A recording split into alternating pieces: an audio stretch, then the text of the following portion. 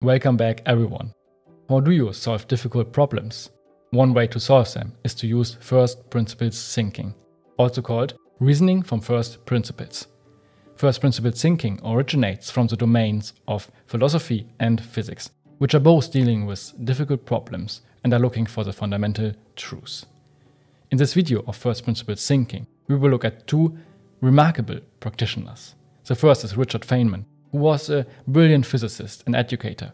The second is Elon Musk, who is the mind behind ventures like SpaceX, Tesla, and Neuralink.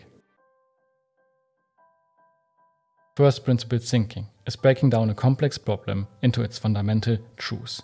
Of course, as far as we know the fundamental truths, or let's call it highly probable assumptions, what we call here in general the first principles. And then, based on the first principles, we can reconstruct a solution with a more fundamental understanding of the given problem. And part of the process of deconstructing and also reconstructing is that we often have to challenge our current assumptions about a given problem.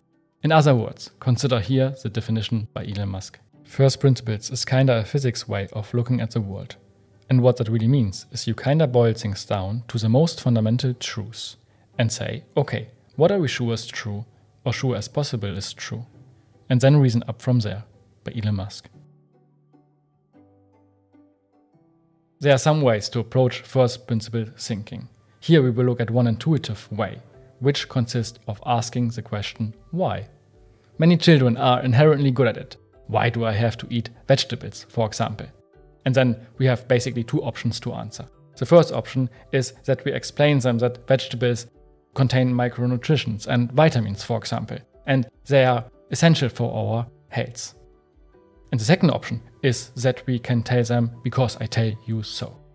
The second option is exactly the option which kills first principles thinking in the beginning, because it is not based on finding the first principles, on finding the truth, it is based on authority. Repeatedly asking the question why can lead us to the most fundamental first principle, principles, which is exactly our goal. It is hard to think that way. You can't think that way about everything. It takes a lot of effort. But if you are trying to do something new, it is the best way to think. Elon Musk. When you are trying first principle thinking out by yourself, you will notice pretty fast, at least it was for me the case, that it takes a lot of energy and time. More often than not, we will hit the boundaries of our own knowledge and that can feel pretty uncomfortable. But I would say this is a really good way to identify our gaps, our own gaps in our own knowledge, which then we can fill by additional learning. Elon Musk recommends using first principle thinking when we try to do something new. In general, when we try to solve complex and difficult problems. On the other side, he says that we can't think in terms of first principles all the time. It is way too demanding and not practical for every little decision or problem we face. Now, this leads us to the question of how do we face normally or how do we think normally about those little everyday decisions and problems.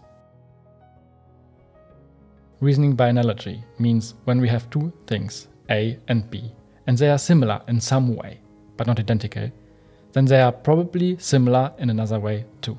So, the normal way we conduct our lives is we reason by analogy.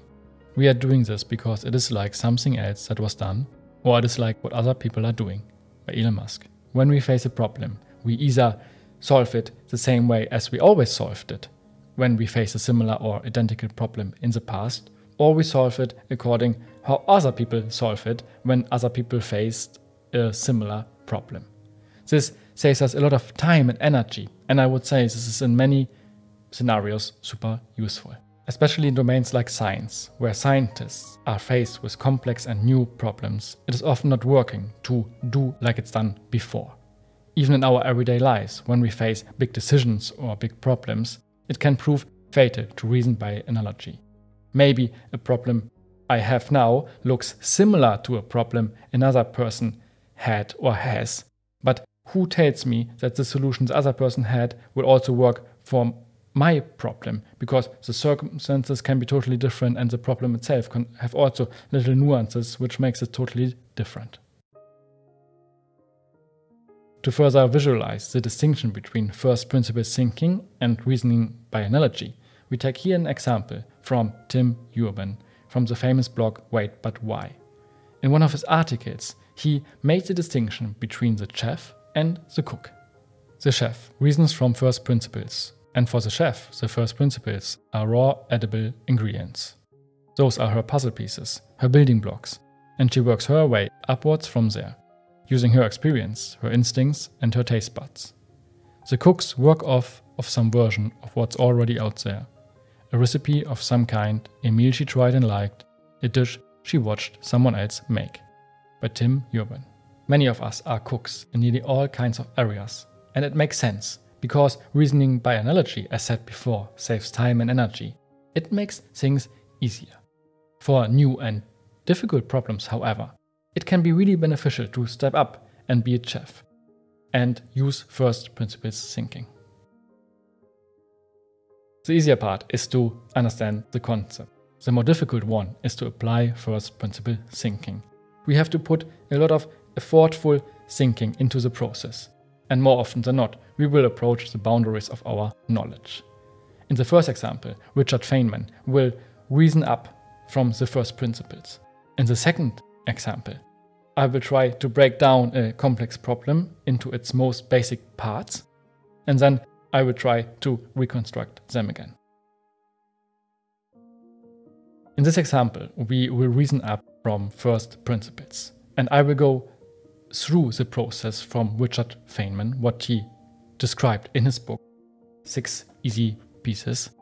But I will let out a lot of details because he explains it much better in his book.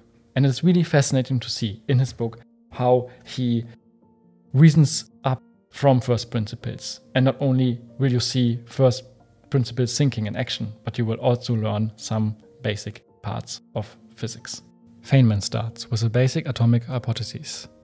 All things are made of atoms, little particles that move around in perpetual motion, attracting each other when they are a little distance apart but repelling upon being squeezed into one another, by Richard Feynman. This symbol of the atom will be now the illustration for our atomic hypothesis. From the atomic hypothesis, he reasons up and explains atoms in motion, that the jiggling of atoms is heat. As an example, he takes water and explains water in its three forms solid, in form of ice, water, and gas. Then he explains atomic processes, in his example, what happens at the surface of water. All the while, everything is based on the atomic hypothesis. From there, he explains chemical reactions, as he calls it, a process in which the rearrangement of the atomic partners occurs. As an example, he uses the process of burning carbon. When carbon atoms interact with the air's oxygen molecules, they can create carbon monoxide or carbon dioxide. Read the book, he explains it much better than I can. But it's so fascinating to see that we can reason up a whole process, a whole world, so to speak, from just first principles. The problem I want to solve in this example is how to get well placed by the YouTube algorithm. And I'm aware that many of you don't face a similar problem and it's maybe not so practical for you. But mainly I want to show here the process of first principle thinking, while the topic itself is secondary. Our problem. Effectively placing videos on YouTube distributing them to the right people, etc. Responsible for that is the algorithm. Why? The algorithm distributes. As far as I know, many are concerned with the so called keywords. Another way is to look at metrics that are important for the algorithm. And those are first click rate, what means how many people click on a video, basically if people are interested in the title or the topic and the thumbnail. And the second metric is watch time, how long people watch the video. Basically, if people are interested in the video itself. About the deep technical function of the algorithm, I have no idea. I probably need to acquire here more information or knowledge in general. And I'm hitting the boundaries of my knowledge. What I researched and heard from some YouTube employees' interviews is that algorithm mainly serves the viewer.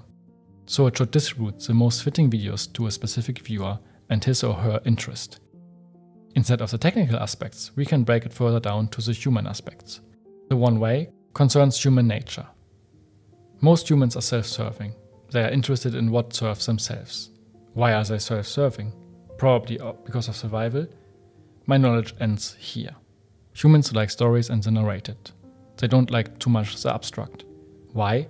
Probably because coherent information are easier to memorize and our brain likes to not use much energy. Why? I'm not so sure. My knowledge ends here. What are humans interested in? In intellectual or emotional stimulation? This both we can probably break further down to the neuroscience level, but here also my knowledge ends. Takeaways. The fundamental part of YouTube is human behavior. Not focusing on some algorithm directly, but focusing on serving the viewer best. Even if I wasn't able to arrive completely at the first principles, I hope I could give you a feeling of how this process looks like. First, I broke my main assumptions apart, and then I tried to reconstruct with a new gained fundamental or more highly probable assumptions to build a solution for this problem. When we now look, for example, I reason by analogy, and I would do what all other people are doing. It's mostly that they focus on keywords. But keywords are probably good for the algorithm, but not necessarily for the viewer. And from my thinking, it is now really effective to just focus on the viewer. Because focusing on the viewer will probably also indirectly be good for the algorithm itself, because the algorithm sh should a little bit imitate the interest from the viewer. I'm really interested now what you think of all of that. I would be really appreciating that when you give me some comments in the comment section about this problem and let me really know what you think about it. First principle thinking can be a useful way to think. It is certainly not a way of thinking to use for every problem or decision we face, but it can be really useful when we face difficult or complex problems or new problems. In addition, when we break things down to its most basic parts, often we gain a deeper understanding of something. So we also get in addition some learning. Thank you so much for taking the time to watch this video. As always, I wish you a fantastic day.